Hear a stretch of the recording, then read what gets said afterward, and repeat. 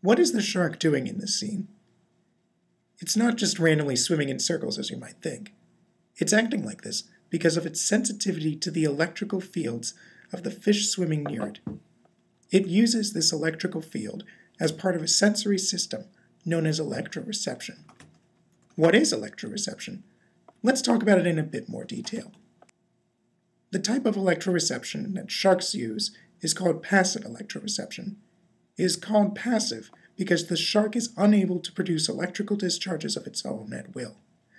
Rather, it is simply able to sense the electrical fields of organisms around it, which are transmitted through ions in the water to pores that cover the shark called ampullae of Lorenzini. Ampullae are small pores that are distributed widely over the shark's body.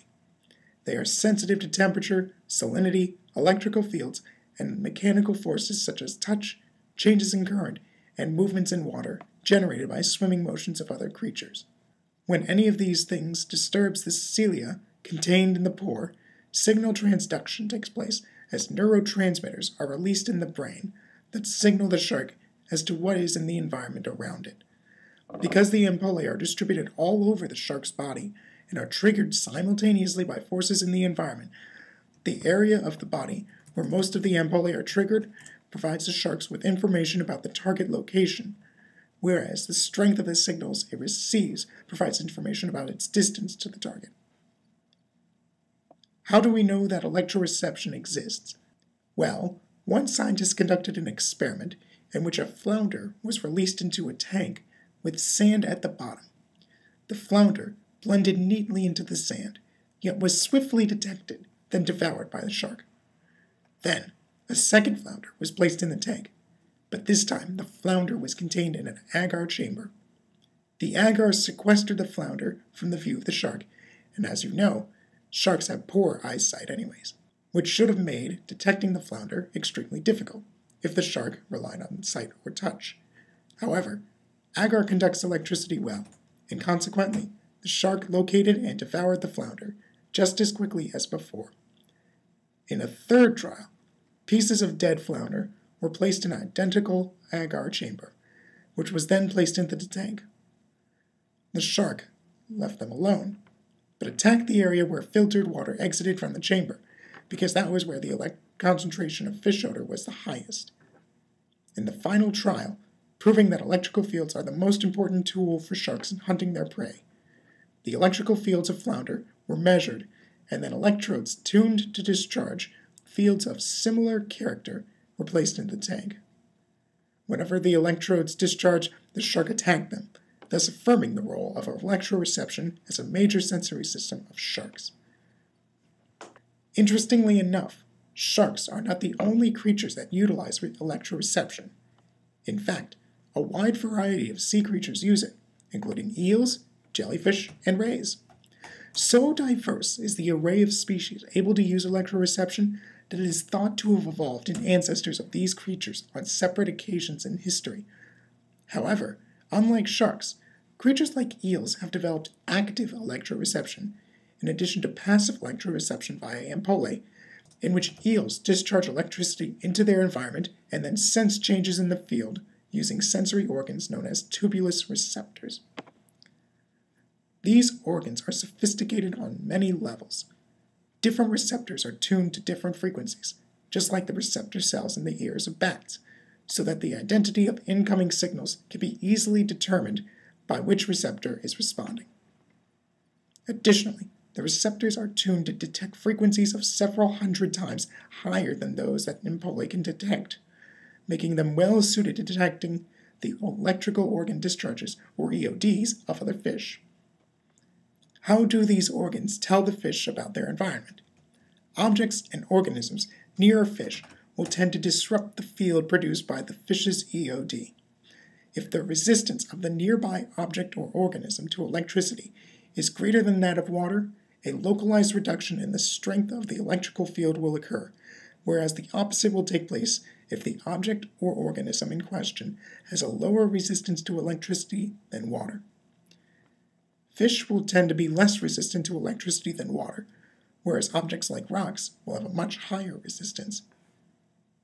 based on the localized increases and reductions in the strength of the field and the strength of the signals themselves, which determines the tar- distance to target as before, the fish is able to create a clear picture of its environment.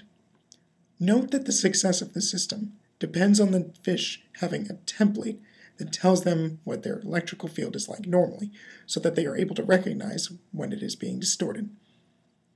As a template, some fish will emit a continuous wave at a constant frequency and will interpret their environment based on changes in the frequency of the wave.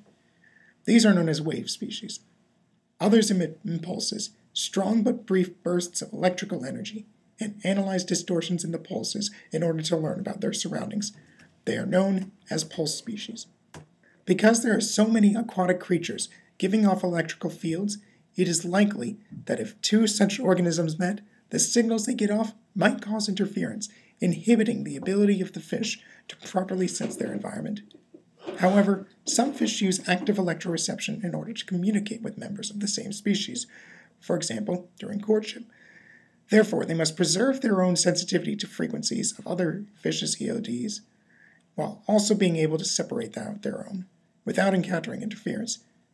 For that purpose, some fish evolved a second kind of tuberous receptor known as a Knollenorgan that utilizes separate neural circuits so that both systems of electroreception may coexist within one organism. This gets a bit more complicated for pulse species because their impulses contain a wide range of frequencies, which could potentially trigger all of the fish's electroreceptors unless the signal is distilled down to the one that is intended. How is the correct frequency separated out? through the creation of an inverted copy of the ampullary response to the fish's EOD, known as the efference copy, which is sent to the brain and then to the ampullae and summed with the signals of the ampullae, canceling them out and leaving the residual signals behind. Additionally, the Knollenorgans use an efference copy of the fish's EOD, which cancels out the fish's self produced EOD, rendering the Knollenorgans sensitive only to the EODs produced by other organisms. Through efferent systems, the Knollenorgans are successfully able to respond to the signals of other members of their species and temporarily prevents other electroreceptors from responding to the varied wavelengths in those signals. However, the efferent system alone does not protect them from interference. For pulse species, echoing the EOD of another fish is enough to prevent interference. However, this does not work for wave species, whose signals are continuously broadcast. When two wave species are near each other, something called the jamming avoidance response occurs. If the fish have EODs similar frequency, they will determine which has the higher frequency. The high frequency fish will then temporarily increase the frequency of its EOD, while the low frequency fish will temporarily lower the frequency of its EOD, thereby differentiating them. What do electroreceptors say about a perception of reality? We should first consider the nature of the system. It is not merely a series of isolated sensory inputs that produce isolated motor outputs. The inputs are continuously taken in, and the outputs are continuously produced as a result. The motor outputs modify position in and the perspective on the environment as well, creating a reciprocal relationship between the two. This is best exemplified by the process of retinal stabilization described by Howard Hughes in his book Sensory Exotica. Our ability to see is dependent on small movements of the eye. If our eye were kept perfectly still, no image would be produced. This is supported by the process of retinal stabilization, in which a machine moves an image to always be centered on the retina of the subjects of the experiment. When the image is centered on the retina, it disappears. This raises an important question. If our perception is dependent on sensory data that is continuously changing, that cannot be held constant, then how can we pinpoint anything as being real? Additionally, the shark experiment raises an important question. If the brains of sharks can be so easily fooled by human contraptions, no less, there is nothing to say that we cannot be fooled in the same manner on a regular basis by other organisms. While that is an unlikely occurrence, it calls to mind the story of the four blind men and the elephant, and raises the question of how we can so firmly rely on our own perceptions of reality when our perceptives are so limited.